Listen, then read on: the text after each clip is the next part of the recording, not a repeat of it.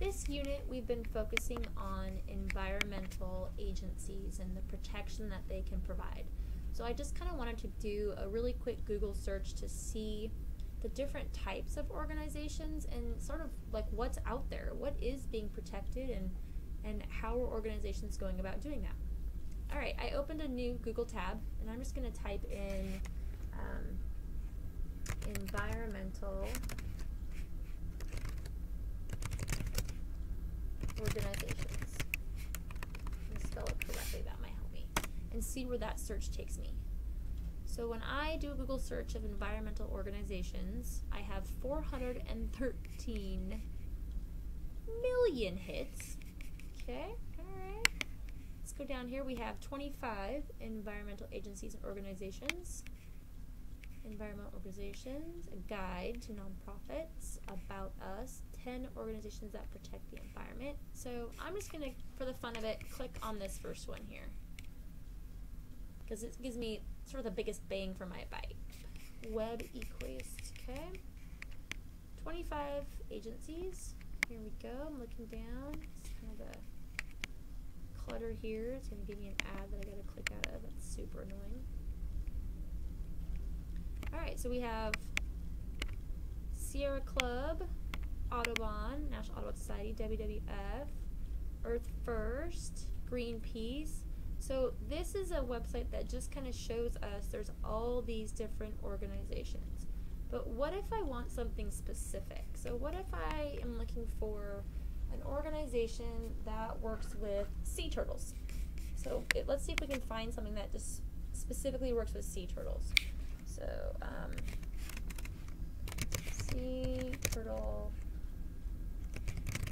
organizations.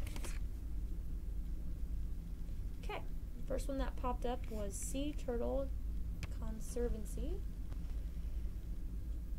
Okay, they've got these headings across the top general information, programs, turtle tracker, get involved, about us. Scroll down and see what we see down here. There's some news and updates. They're located in Gainesville, Florida.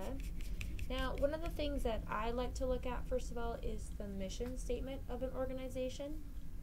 So, I'm down here, I just see this general about STC. So let's just see if we can find their mission statement and what they're about. And, oh, here we go. The mission statement's in purple, right at the very top. It is the mission of Sea Turtle Conservancy to ensure the survival of sea turtles within the Caribbean, Atlantic, and Pacific through research, education, training, advocacy, and protection of their natural habitats upon which they depend. So what this is saying is this organization organization is focused on helping sea turtles specifically in this specific part of the Caribbean, Atlantic, Pacific Oceans, and then through multiple ways. So research, education, training, habitat protection, all that kind of stuff. So their mission statement was very clear. Let's go back to their homepage here. We have a lot of different information. Um, get involved. Let's see what we can do. Actions you can take. Let's see what we can do. Oh, there's places that we can shop to help raise money. We can recycle old cell phones. We can adopt a turtle see what it takes to, to adopt a turtle. Become a member, 30 $40.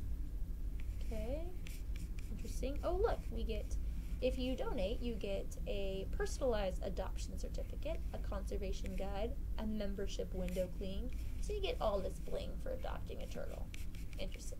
All right, so the main idea of this lesson was to kind of give you an idea of the broad capacity of organizations that are out there helping our environment.